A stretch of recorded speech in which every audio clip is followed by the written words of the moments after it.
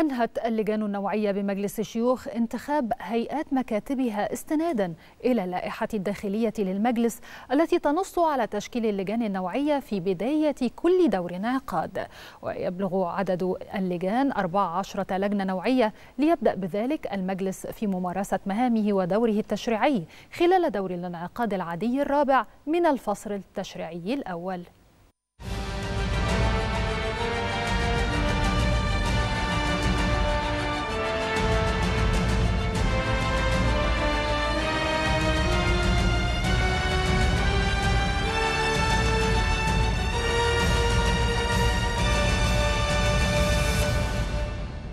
خلال الجلسة الثانية من دور الانعقاد العادي الرابع من الفصل التشريعي الأول بعد صدور القرار الجمهوري بدعوة المجلس الانعقاد أنهت اللجان النوعية بمجلس الشيوخ انتخابات هيئات مكاتبها استنادا إلى اللائحة الداخلية للمجلس التي تنص على تشكيل اللجان النوعية في بداية كل دور انعقاد. السادة الأعضاء باسمكم جميعا وباسمي أتقدم بخالص التهنئة.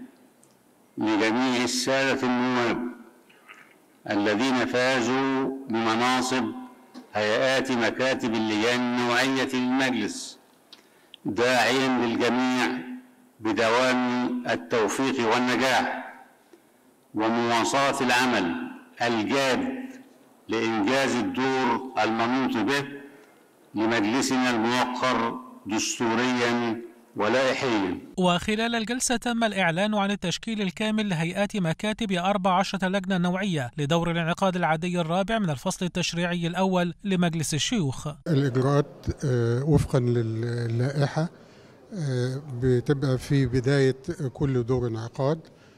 تم النهاردة دعوة اللجان للحضور للترشح وتم عملية الانتخابات.